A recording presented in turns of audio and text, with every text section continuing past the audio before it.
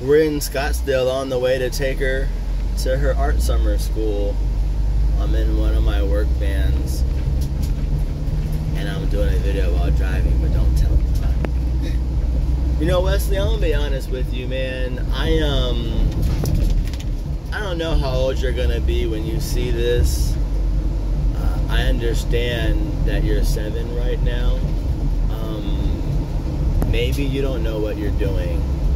Maybe you don't know the evil, hurtful things these people are doing, but like, uh, you know, these lies that you told the government, these people that you and your mom sent so y'all could live together, like, that really, really, really hurt me. Um,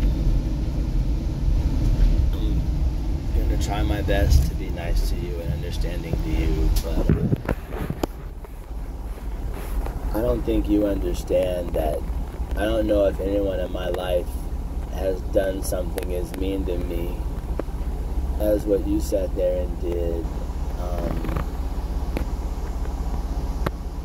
I don't believe a child should treat their parent that way. You know, I've I have actually been hurt by the men in my life, and I would never, in a million years, ever even even dream of doing what you sat there and did.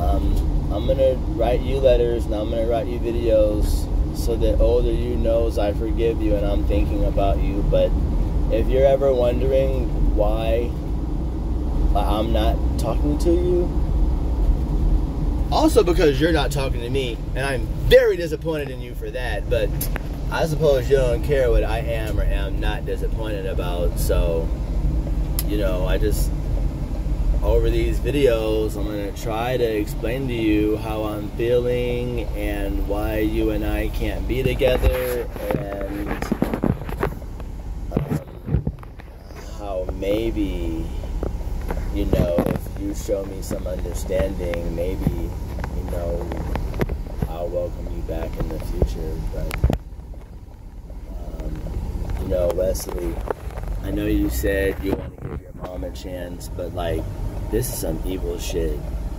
And if this is gonna be the first thing that y'all do together, you know, uh, I I think you've made the wrong decision.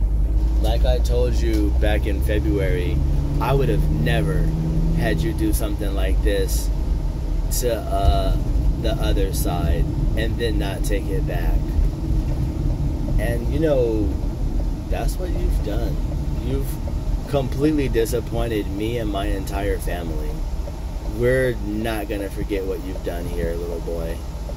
Uh, so I, I honestly really hope you're enjoying your life. I really hope like what you've done is worth it for you. That's that. Have a good day. It's what? July 13th? This is a long video, so it counts for July 12th. Because I don't think we sent one. Alicia says we did, but she a liar and a hater. I don't think we did. Anyway, we're at her art school. Hasta luego.